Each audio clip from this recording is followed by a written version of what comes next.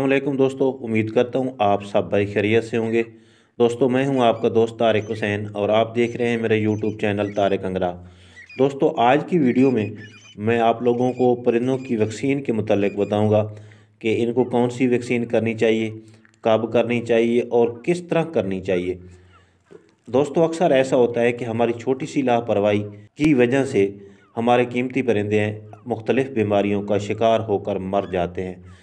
लेकिन हम थोड़ा सा अगर टाइम निकाल के ये वैक्सीनेट वक्त से पहले लगा लें तो इन हमारे परिंदे काफ़ी हद तक इन बीमारियों से महफूज रहते हैं। उनके अंदर क़वत मुदाफ़त पैदा हो जाती है।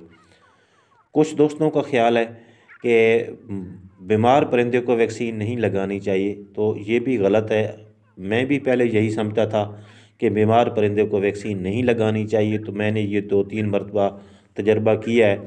तो जो परिंदा बीमार था, वो भी इसे सेट हो गया है। आप बात कर लेते हैं कि कौन सी वैक्सीन लगानी चाहिए। तो दुकान पे बहुत सारी वैक्सीनें आपको वैसे मिल जाएँगी, या वैक्सीन सेंटर से मिल जाएँगी। लेकिन जो मैं इस्तेमाल करता हूँ, जिसका मैंने बहुत अच्छा रिज़ल्ट देखा है, वो है गैलीमोन इसको मैंने बीमार परिंदे को भी लगा के चेक किया है तो वो भी बिल्कुल सेट हो गया है, और जो परिंदे हैं, वो भी काफ़ी हद तक इन बीमारियों से महफूज रहे हैं। तो इसके लगाने का तरीका ये है कि आप छोटी सुरंज जो है ना, यानी कि एक परिंदे को आपने सॉरी, आपने दस परिंदों को एक सीसी लगानी है। छोटी सुरंज में आप डाल लें, उसमें आप एक पॉइंट उसका परिंदे के गोश्त में लगा लें। मैं तो सीने वाले गोश्त में लगाता हूँ क्योंकि वहाँ पे परिंदे के पट्ठे नहीं होते और पट्ठे में लगने से इसके पट्ठे पे असर भी पड़ सकता है। तो वहाँ पे लगा लें तीतर को एक पॉइंट अगर मुर्ग है या मुर्ग के साइज़ का कोई आपके पास परिंदा है तो उसको दो पॉइंट अगर पट्ठा है छोटा तो उसका आधा पॉइंट तो इसी तरह आपने लगाना है। बहरहाल, ये कोशिश करनी है, दो चीज़ों का आपने ख्याल करना है। एक तो वैक्सीन जो है, वो ज़्यादा ना लगे। ज़्यादा लगने वाले परिंदे को वैक्सीन ख़राब करती है, वो गलत हो जाता है। बाद में कवर तो हो जाता है, लेकिन आप कोशिश करें कि आप उसके हिसाब से ही लगाएँ। और दूसरी बात यह है कि आपने ये जो वैक्सीन लगानी है ये छाँव में बैठ के या फिर अंधेरे में बैठ के या रात को ही आप लगाएँ रात को बेशक लाइट ऑन कर लें उसका कोई मसला नहीं है। बहरहाल उसको सूरज की रोशनी जो है वो नहीं लगनी चाहिए। तो आप उस तरह करेंगे तो इन आपको कोई साइड इफ़ेक्ट भी नहीं होगा आपके परिंदों को आपको इसका रिज़ल्ट भी आ, सही मिलेगा।